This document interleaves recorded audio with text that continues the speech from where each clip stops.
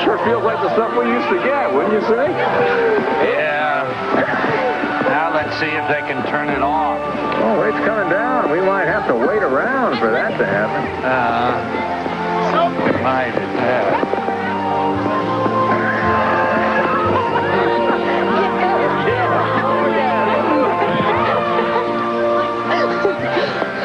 Well, Mathewson, you could even turn out to be nice.